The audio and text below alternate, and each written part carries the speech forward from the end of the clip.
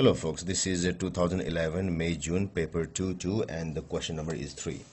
This question is concerned with uh, the chapter work, energy and power as you can see from these two first uh, two questions. The first question says uh, explain what is meant by work done. So work done, work is said to be done when a force applied on a body produces some displacement uh, in its direction direction so the formula becomes W equal to work in uh, force into displacement into uh, cos of the angle between the direction of force and displacement. And the power it's equal to rate of doing work or we can say simply work done by time elapsed. Now in number B number B uh, the question is figure 3.1 shows part of a fairground ride fairground ride with a carriage on the rails carriage on the rails the carriage and passengers have a total mass of uh, 600 kg, so it is uh, small m.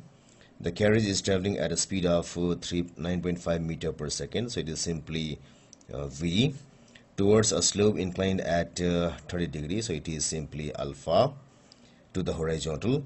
So this is alpha equal to alpha. The carriage comes to rest after traveling up the slope to a vertical height of 4.1 meter. This is h.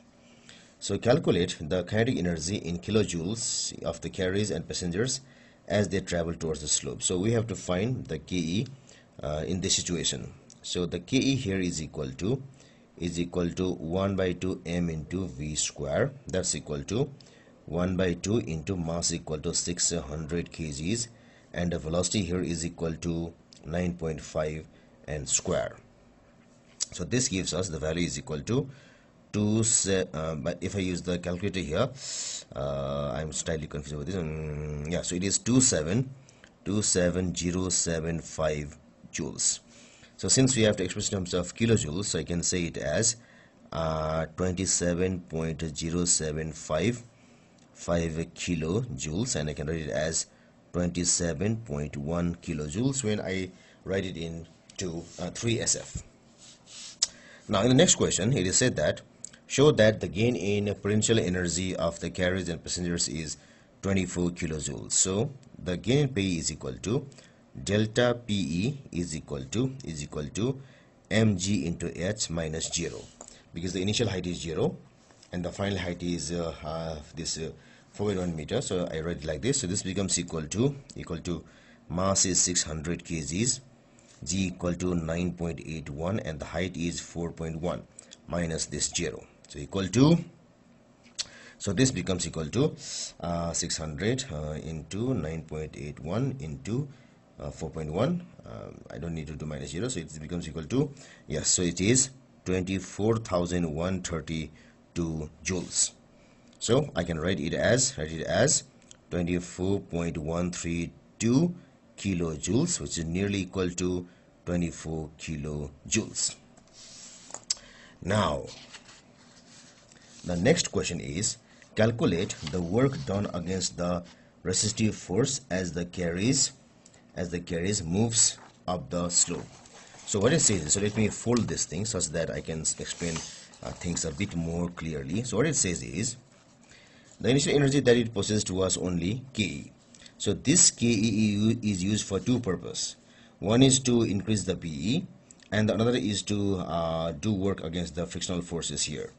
So what I have here is, so this delta Ke was utilized in creating, in, in increasing the potential energy plus in uh, doing work against friction.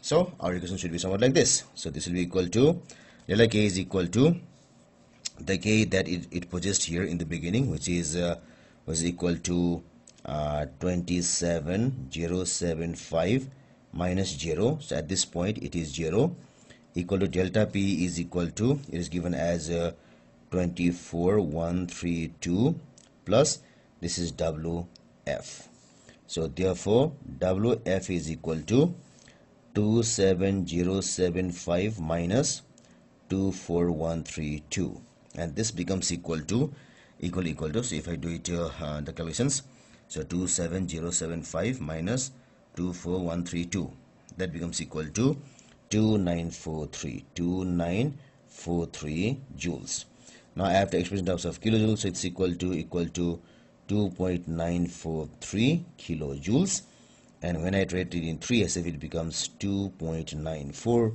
kilojoules.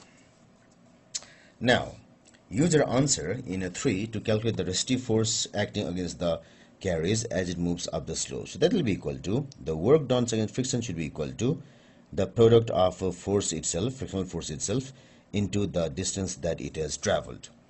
And the distance traveled is this from here to here and this distance will be equal to equal to equal to ff into it should be equal to this height this height divided the sine 30 degree it's because it's because sine 30 degree is equal to h divided by is equal to s divided by this thing. So this thing is equal to s. So so this gives us this s is equal to s goes here sine 30 goes here. So s is equal to h by sine 30 so therefore therefore therefore therefore ff is equal to wf into sine 30 degree divided this h. So wf is equal to 2943 into sine 30 is 0.5 divided this h is equal to 4.1 and the value becomes so let me do it in the calculator uh, so 2943 into 0.5 divided 4.1 becomes equal to 358.9 Newton. So when I write it in a 3 SF it becomes equal to 359 Newton. So I don't need to write this Newton here. It's already written uh, in the text itself. So these are the complete answers to this question.